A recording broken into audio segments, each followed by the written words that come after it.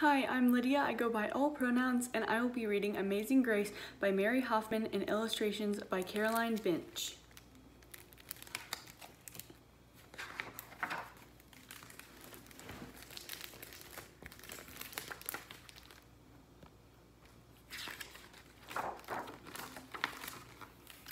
Grace was a girl who loved stories.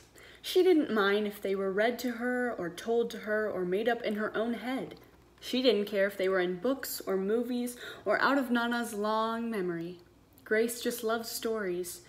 After she had heard them, and sometimes while they were still going on, Grace would act them out, and she always gave herself the most exciting part.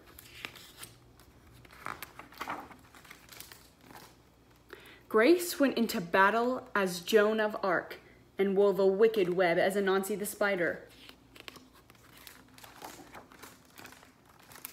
She hid inside the wooden horse at the gates of Troy. She went exploring for lost kingdoms.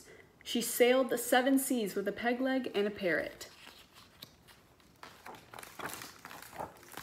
She was Hiawatha, sitting by the shining big sea water, and Mowgli in the backyard jungle.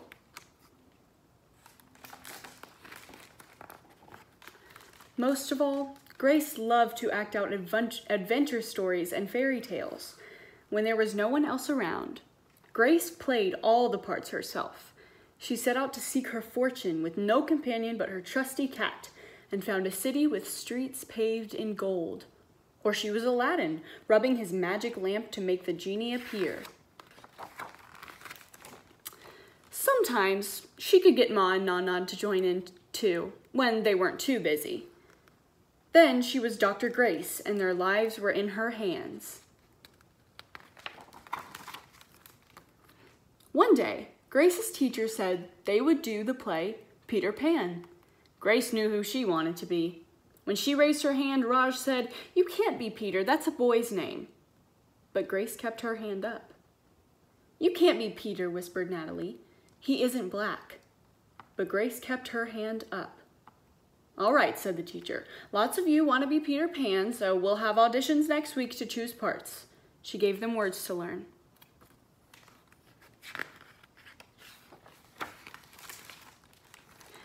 When Grace got home, she seemed sad. What's the matter? asked Ma. Raj said I can't be Peter Pan because I'm a girl. That just shows what Raj knows, said Ma. A girl can be Peter Pan if she wants to. Grace cheered up. Then later she remembered something else.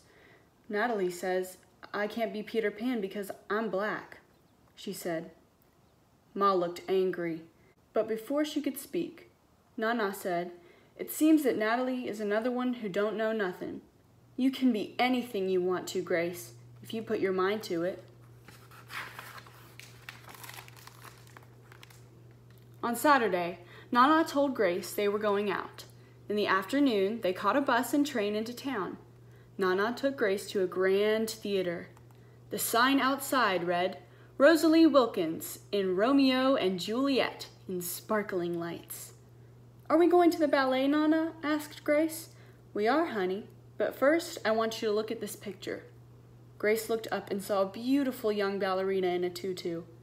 Above the dancer it said, Stunning New Juliet. That one is little Rosalie from back home in Trinidad, said Nana. Her granny and me, we grew up together on the island. She's always asking me, do I want tickets to see her Rosalie dance? So this time, I said yes. After the ballet, Grace played the part of Juliet, dancing around her room in her imaginary tutu. I can be anything I want, she thought. On Monday, the class met for auditions to choose who was best for each part. When it was Grace's turn to be Peter, she knew exactly what to do and all the words to say. She had been Peter Pan all weekend. She took a deep breath and imagined herself flying. When it was time to vote, the class chose Raj to be Captain Hook and Natalie to be Peter. There was no doubt who would be Peter Pan. Everyone voted for Grace. You were fantastic, whispered Natalie. The play was a big success, and Grace was an amazing Peter Pan. After it was all over, she said, I feel as if I could fly all the way home.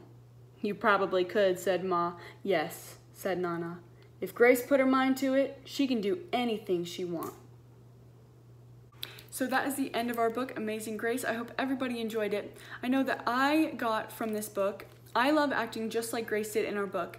And what we learn from Grace is that being ourselves is the number one priority. As long as we are true to ourselves and we believe in ourselves, it doesn't matter what other people say. Have a great week.